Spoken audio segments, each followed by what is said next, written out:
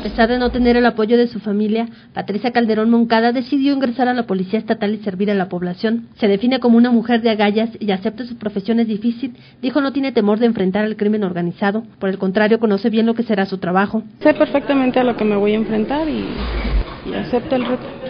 Pues siempre he sido así y y, voy, voy con todo. Patricia y Alejandro forman parte de la primera generación de la policía acreditable, de donde egresaron un total de 150 elementos. Pues a lo mejor sí, algunos tienen miedo, pero el chiste es superarlo nada más. Sí, pues digamos ahorita estamos para el Estado y pues es un honor servir al Estado y pues a la patria más que nada y a los ciudadanos. La depuración de la Policía Estatal Preventiva de Michoacán registra un avance del 30%, asegura el secretario de Seguridad Pública de la entidad, Elías Álvarez Hernández. El beneficio ahorita inmediatamente es para Morelia.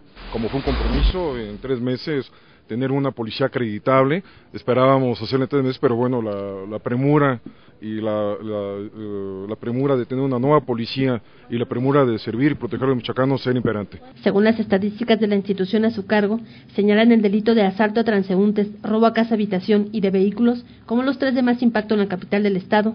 Los nuevos servidores públicos trabajarán en la ciudad para abatir estas infracciones.